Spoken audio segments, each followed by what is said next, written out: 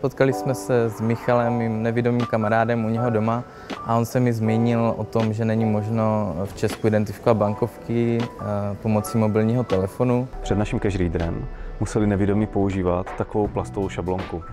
Je potřeba do ní zasunout bankovku, otočit bankovku kolem šablonky a nahmatat eh, jednu z několika značek, podle které vím, jakou bankovku mám v ruce.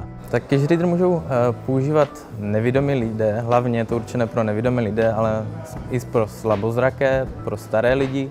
Dříve jsem uh, rozpoznával bankovky tím způsobem, že jsem si je uh, porovnával mezi sebou ona, ona se používá i uh, taková měřící šablonka, ale pro mě je to celkem nepraktické, protože mám problémy s jemnou motorikou.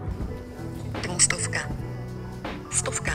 When I joined Cash Reader, I thought that the biggest challenge would be to let people know about the Cash Reader, but this actually turned to be one of the most beautiful things in working with Cash Reader. So now we have ambassadors from all over the world that work with us and this is because they wanted to join us. Technologii rozpoznávání bankovek jsme ladili skoro rok a půl, než jsme s ní byli natolik spokojeni, že jsme ji nabídli eh, prvním uživatelům. Když jsme zjistili, že vše funguje tak, jak bychom chtěli, tak další, řekněme, největší výzvou bylo pozbírat bankovky co nejvíce světových měn.